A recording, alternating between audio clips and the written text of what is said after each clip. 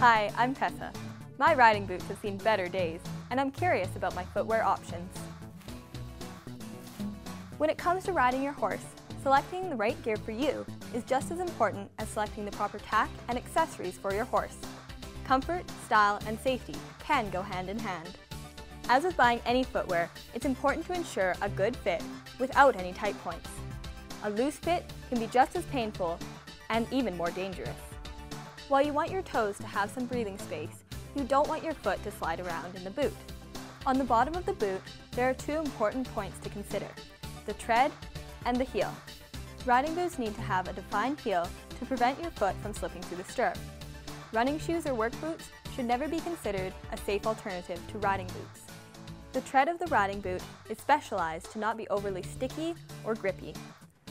Work boots and overshoes are too thick and cumbersome to be worn safely.